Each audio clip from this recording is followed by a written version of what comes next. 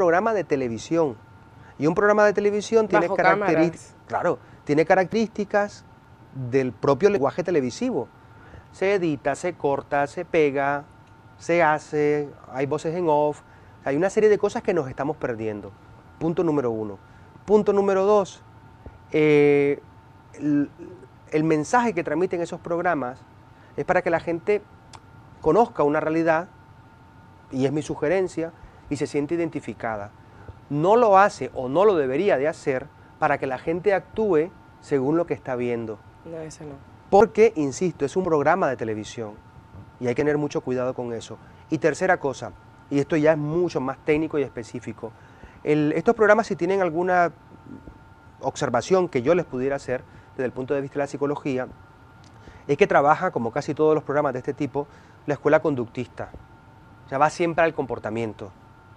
¿Sí? Y esto da mucho juego televisivo, Sí, pero en realidad, en realidad, lo, verdaderamente importante, insisto, no está el producto del comportamiento, sino en las razones y en las emociones.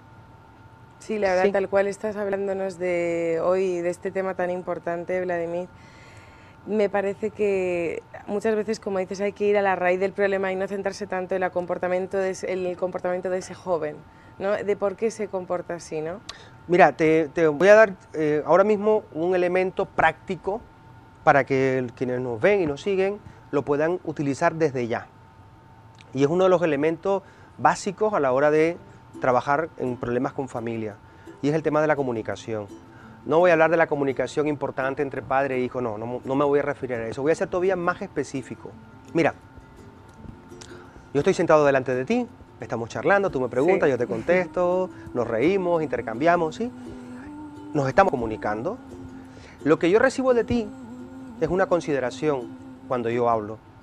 Y lo que tú tienes que recibir de mí es lo mismo. Si esa primera norma no se cumple, esta conversación no tiene sentido. Muchas veces lo que ocurre en las casas es que cuando un niño te pega un grito, un niño, ¿eh? Te pega un grito, la reacción de los padres es responder a ese grito. Error. En el momento que un niño pega un grito o insulta, lo que tengo que hacer como adulto yo es decir, esta conversación se ha terminado.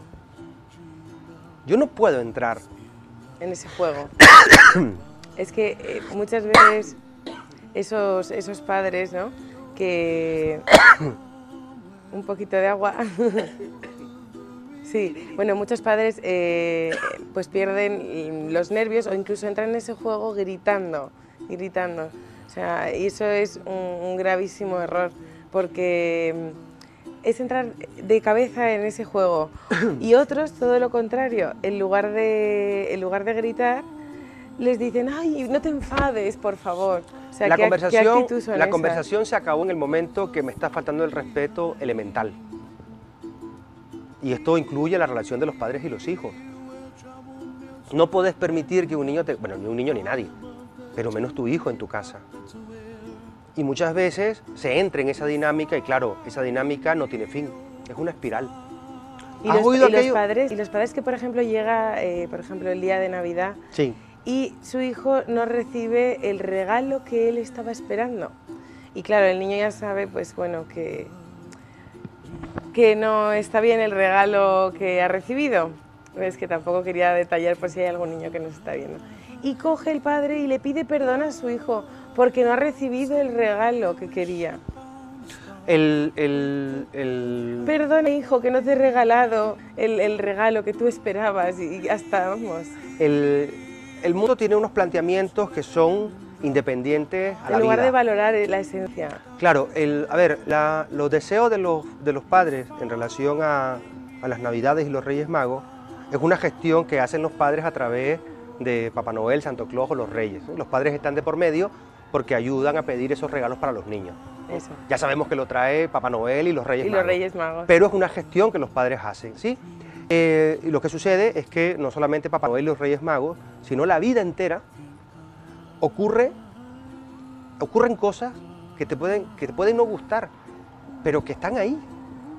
Y los niños tienen que aprender a frustrarse. Entonces, el, el exceso de comunicación, el, perdón, el exceso de explicaciones ante ciertas cosas, a veces también es un error. Porque hay situaciones que los niños tienen que aprender que no pueden modificar. Si un niño se tiene que ir a la cama y te dice antes de irse la cama, es que yo quiero que sea de día. Podemos estar la noche entera discutiendo, que no se puede hacer de día porque tú quieras.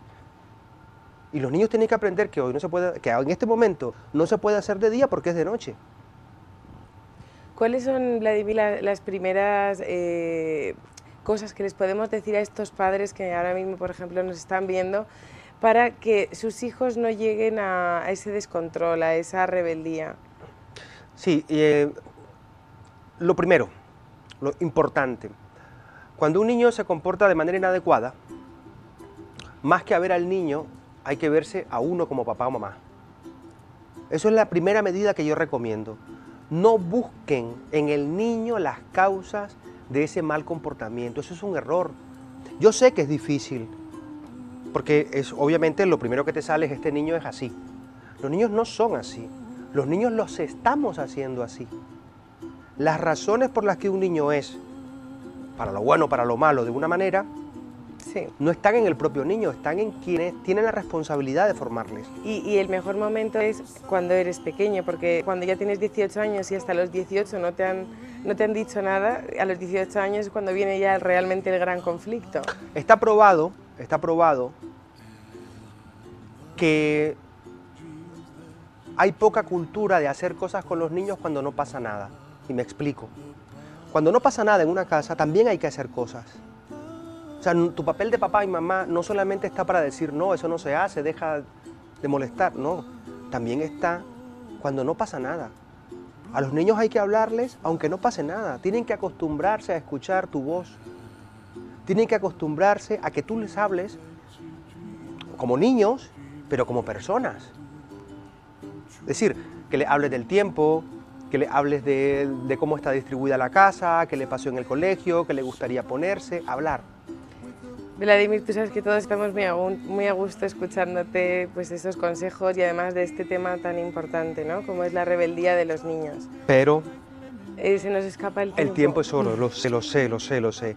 Así que de todas maneras yo vamos a seguir, podemos hacer parte 2 de esto. Sí, Yo Estupendo. solamente invitar a todos los que nos, nos siguen que para cualquier consulta nos escriban a consultas.elbatiscafo.es, que ahí vamos a atender todas sus solicitudes, porque ya me, pidieron que dijera el correo. sí. Sí, así que bueno, Estupendo, Vladimir. Eh, pues entonces el próximo día seguimos con este Perfecto. tema y a lo mejor damos otro tema también más. ¿no? perfecto, perfecto, muy bien hecho. Muchísimas Cuenta gracias. Vladimir. A ti, a ti. Y bueno, eh, volvemos en unos minutitos con nuestra sección final del programa y además la mejor y más divertida, así que volvemos hasta ahora.